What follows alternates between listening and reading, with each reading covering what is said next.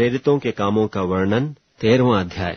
अंताकिया की कलीसिया में कितने भविष्यवक्ता और उपदेशक थे, अर्थात बर्नबास और शमोन, जो नीगर कहलाता है।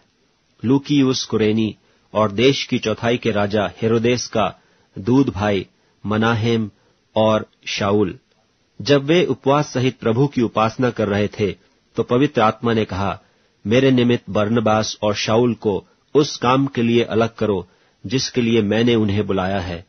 तब उन्होंने उपवास और प्रार्थना करके और उन पर हाथ रखकर उन्हें विदा किया।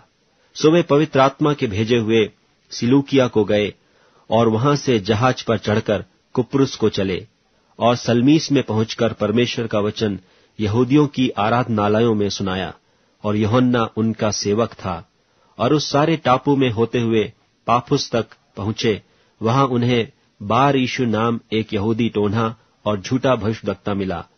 वह सिरगियुस पॉलुस सूबे के साथ था, जो बुद्धिमान पुरुष था। उसने बर्नबास और शाउल को अपने पास बुलाकर परमेश्वर का वचन सुनना चाहा। परंतु इलीमास टोन्हे ने, क्योंकि यही उसके नाम का अर्थ है, उनका सामना करके सूबे को विश्वास करने से रोकना चाहा। तब शाउल ने, जिसका नाम पौलुस भी है पवित्र आत्मा से परिपूर्ण हो उसकी ओर टकटकी लगाकर कहा, हे सारे कपट और सब चतुराई से भरे हुए शैतान की संतान, सकल धर्म के बैरी, क्या तू प्रभु के सीधे मार्गों को टेढ़ा करना न छोड़ेगा? अब देख, प्रभु का हाथ तुझ पर लगा है और तू कुछ समय तक अंधा रहेगा और सूर्य को न देखेगा।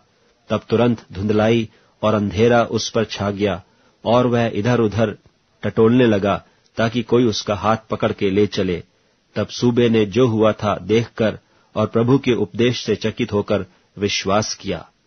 पौलुस और उसके साथी पाफुस से जहाज़ खोलकर पंफूलिया के पिरगा में आए और योहन्ना उन्हें छोड़कर यरूशलेम को लौट गया।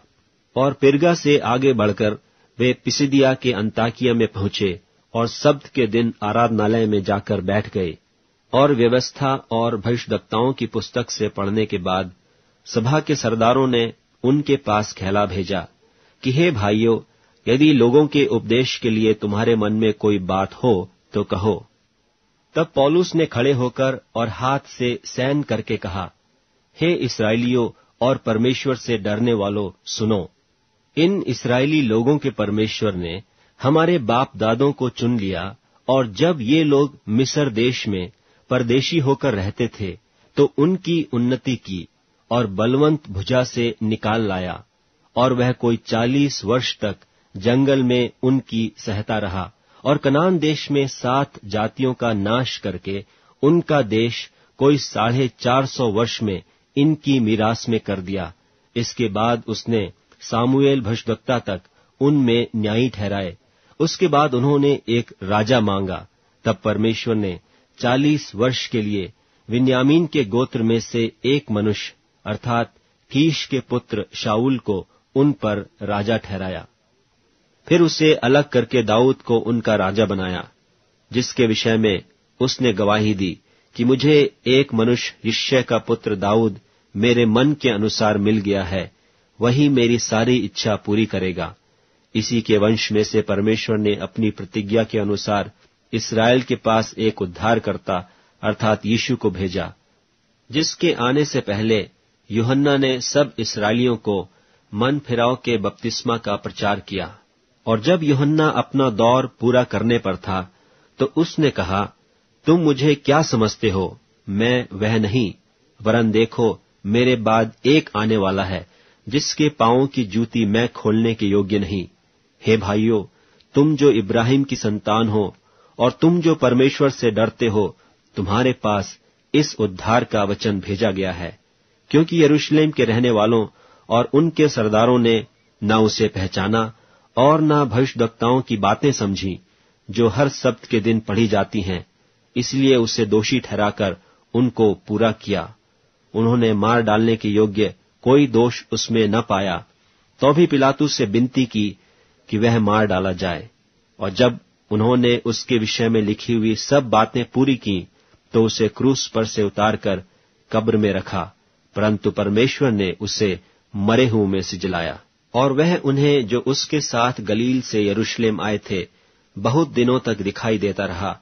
लोगों के सामने अब वे ही उसके गवाह हैं।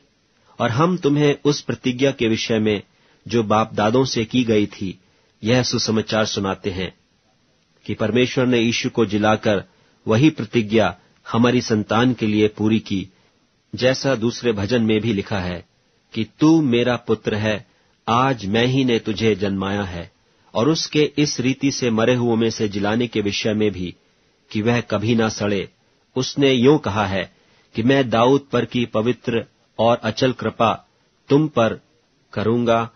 इसलिए उसने एक और भजन में भी कहा है कि तू अपने पवित्र जन को सड़ने न देगा। क्योंकि दाऊद तो परमेश्वर की इच्छा के अनुसार अपने समय में सेवा करके सो गया और अपने बाप दादों में जा मिला और सड़ भी गया। परंतु जिसको परमेश्वर ने जिलाया, वह सड़ने नहीं पाया। इसलिए, हे भाइयों, तुम जान लो कि इसी के द्वारा पापों की क्षमा का समाचार तुम्हें दिया जाता है और जिन बातों से तुम मूसा की व्यवस्था के द्वारा निर्दोष नहीं ठहर सकते थे, उन्हीं सबसे हर एक विश्वास करने वाला उसके द्वारा निर्दोष ठहरता है। इसलिए चौकस रहो। ऐसा न हो कि जो भविष्यवक्ताओं की पुस्तक में आया है, तुम पर भी आ पड़े। कि हे निंदा करने वालों, देखो और चकित हो और मिट जाओ, क्योंकि मैं तुम्हारे दिनों में एक काम करता हूँ। ऐसा काम कि यदि कोई तुमसे उसकी चर्चा करे तो तुम कभी प्रतीति न करोगे।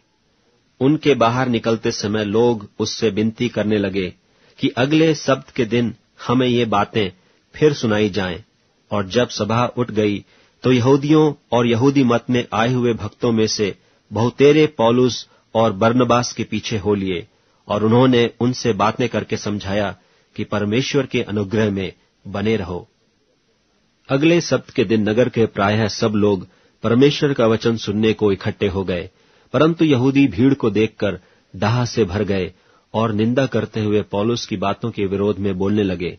तब पौलुस और बर्नबास ने निडर होकर कहा, अवश्य था कि परमेश्वर का वचन पहले तुम्हें सुनाया जाता, परंतु जबकि तुम उसे दूर करते हो और अपने को अनंत जीवन की योग्य नहीं ठहराते तो देखो, हम अन्य जातियों की ओर फिरते हैं, क्योंकि प्रभु ने हमें यह आज्ञा दी है कि मैंने तुझे अन्य जातियों के लिए ज्योति ठहराया है, ताकि तू पृथ्वी की छोर तक उद्धार का द्वार हो। यह सुनकर अन्य जाति आनंदित हुए और परमेश्वर के वचन की बड़ाई करने लगे। और जितने अनंत जीवन के लिए ठहराए गए थे, उन्होंने विश्वास किया। तब प्रभु का वचन उस सारे देश में फैलने लगा। परंतु यहूदियों ने भक्त और कुलीन स्त्रियों को और नगर के बड़े लोगों को उसकाया और पौलुस और बर्नबास पर उपद्रव करवाकर उन्हें अपने सिवानों से निकाल दिया। तब वे उनके सामने अपने पांवों की धूल झाड़कर इकुनियम को गए और चेले आनंद से और पवित्र आत्मा से परिपूर्ण होते रहे।